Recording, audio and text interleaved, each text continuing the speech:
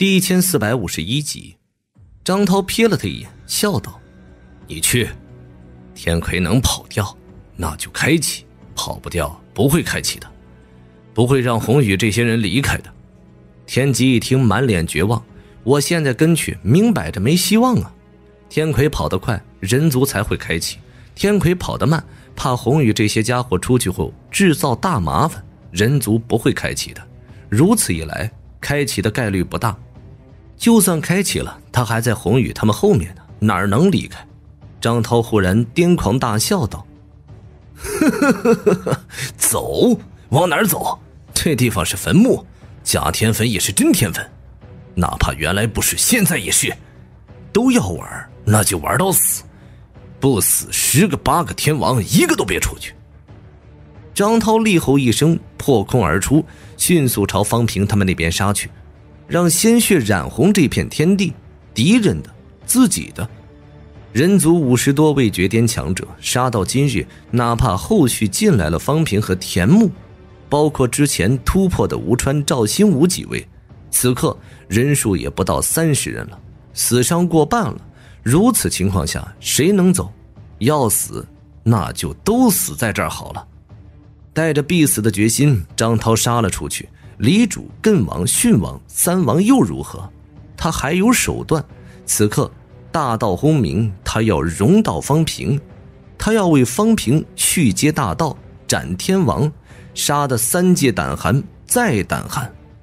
看你们有多少强者可以被杀，死多少才算多。这一刻，一条大道贯穿天地，虚影投射，直奔方平而去。小子，撑住了，人族还有人在。还有人没灭，李振、蒋天明杀什么狗屁圣人？都给老子过来！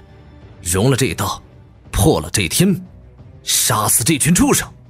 这一声厉喝响彻四方。下一刻，李振这些人纷纷气血冲霄，连成一体，看都不看天败，迅速朝方平那边赶去。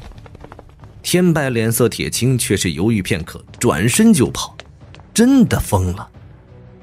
诸方强者联手逼疯了人族，人族所有强者都已经疯了，居然要全人族强者融到方平，就不怕方平撑死吗？就不怕直接撑爆了方平？就不怕融到后方平被杀，人族彻底没落，连一位真神都没吗？是啊，他们没什么好怕的了呀。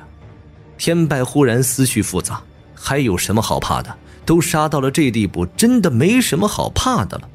这一刻，四面八方人不多，却是气血覆盖天地。有人大吼一声：“今日当尊方平为王，人族之王，容我人道斩杀四方敌，血洗三界。尊方平为王，斩四方大敌，续我人道。”天地撼动，心寒。当那一条条大道浮现，所有人都心寒。什么样的魄力？都能让这数十人族顶级强者都心甘情愿融到一人，成全一人，斩杀四方，天地颤动，血雨瓢泼。此时此刻，此情此景，让所有人动容。前有六位禁地融道张涛，转头人族所有强者要融道方平，这些人真的没一个怕死的吗？融道要死的呀！许我人道！斩四方敌！当那一声声凄厉吼声传来，哪怕天王也发自内心的寒冷。人族到底怎么了？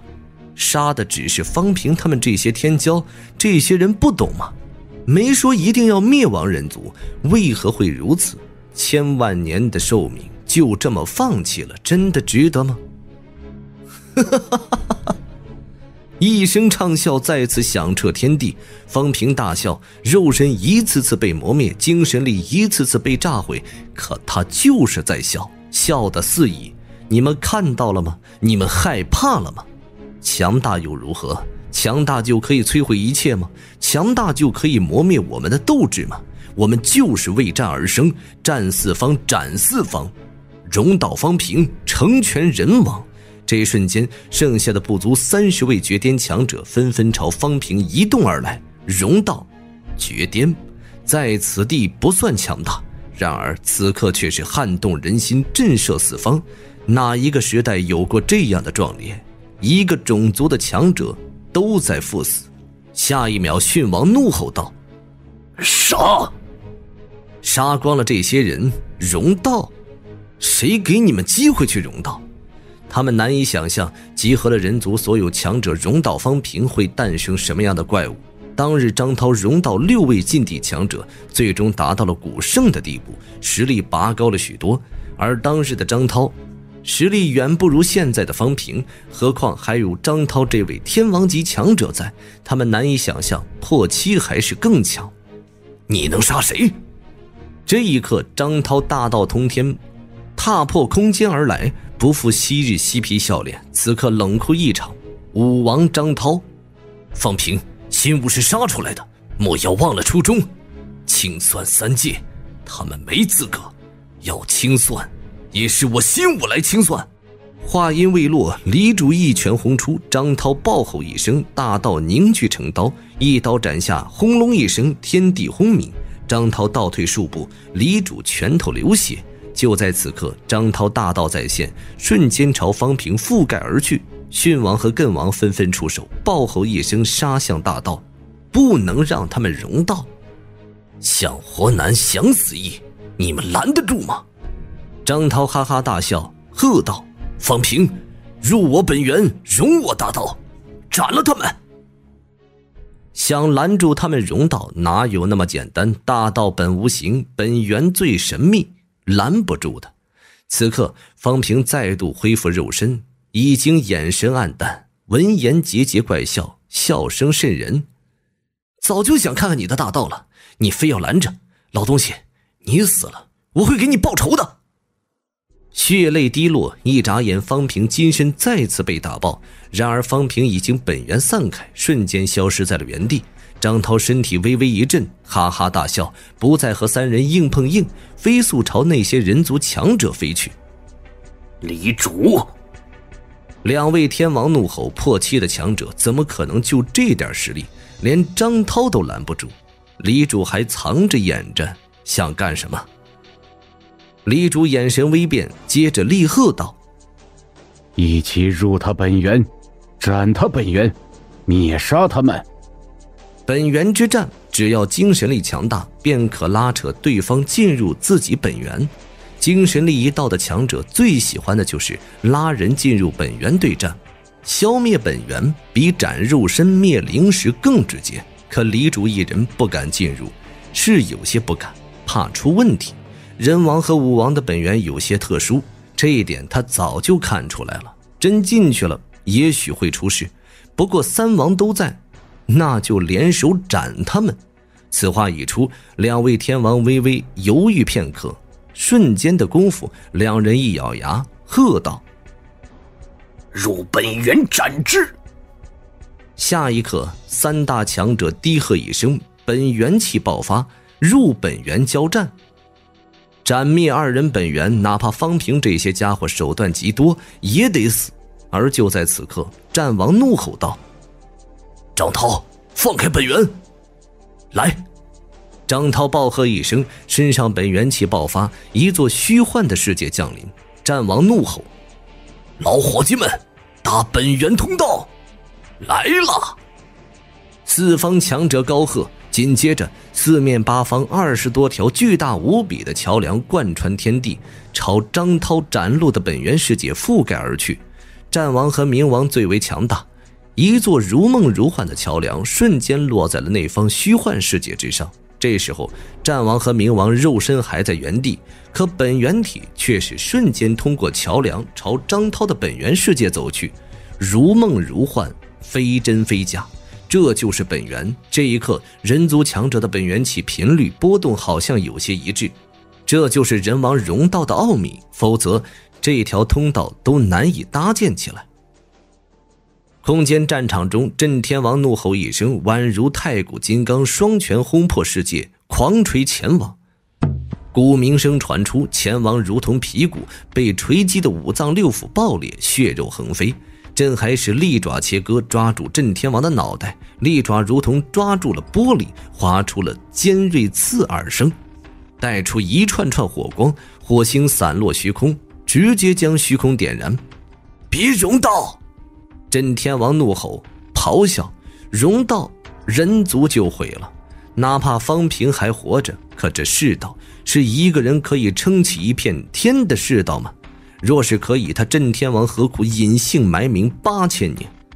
这些人都是种子，新武的种子，人族的种子。今日融道，人族也毁了大半了。都不让我们活，那就杀他个天翻地覆！李老鬼，日后人族拜托你了，别荣道！震天王再次咆哮，一拳轰的钱王胸口洞穿，接着迅速朝那边赶去。镇海使和钱王此刻也是怒不可遏。镇海使冷哼一声，翅膀扇动，虚空破碎，飓风来袭，瞬间将震天王困在了原地，冷喝道：“你不放本座走，那都别走了！”在场几人也各有心思，融道好，融了人族就剩下方平了。方平可以破八吗？不可能的事儿。既然如此，对付三王，鹿死谁手，尚未可知。黎州破七，两位古老天王也未必就是现在这实力。最大的可能，最终人族全灭，三王当中可能有一人陨落。倒霉的话，两人陨落。如此一来，死伤无数，可死的却不是他们。空间战场此刻已经颤动，终究不是皇者本源。哪怕化为战场后稳固性大增，此刻也难以承受这么多强者的火拼了。那边乱天王也是疯狂无比的轰击坤王，与此同时还不忘关注人族那边，啧啧嘴，有些震撼和感慨。这一代的人族好猛，他那一代人间是什么？人间是凡尘，人间也有武者，可九品就是绝巅强者，难得出现一位真神，那也是离开人间前往地界，人间只不过是红尘地，强者都不屑去的。那个时代，人间的强者到了地界，那都是赶紧找个势力去依靠、去投靠，要不然保不准哪天就被人干掉了。乱天王也没想到，过了不到六千年，再次出现，会看到这样一群人，太凶残了。一个个看着年纪也不算太大，其中有几个给他的感觉恐怕都不到百岁，却是凶残的如同上古魔头。不。上古魔头都没他们凶残。所谓的上古魔头，天狗算吧，镇海使算吧，这些人和妖，上古时期就是凶名赫赫。可一对比，感觉还不如这些人族凶狠，杀气都快击穿世界了。乱感慨的同时，也没多管，管他呢，又不是杀自己。那些人死一个少一个，他也许可以捡点便宜。到时候去捡点骨头什么的，看看能不能打造神器。与此同时，带着九皇印遁逃的天魁回头看了一眼，也是满眼震撼。震撼的同时有些无奈。这种情况下，张涛他们还能打开门户吗？难道等他们死了才行？真要死了，也许还能收了困天灵。怕就怕他们还没死，自己就被后面的人追上了。此刻。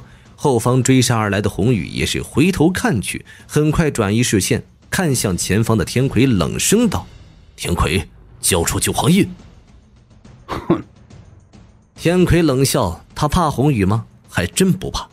他封三十六圣之首的时候，坤王他都看着不顺眼，没少去挑衅，也不是个善茬。